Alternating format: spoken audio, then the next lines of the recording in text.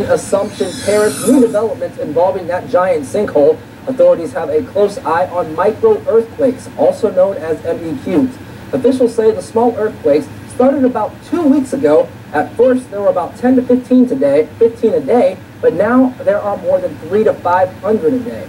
Parish officials are paying close attention and hope that the MEQs don't affect the sinkhole.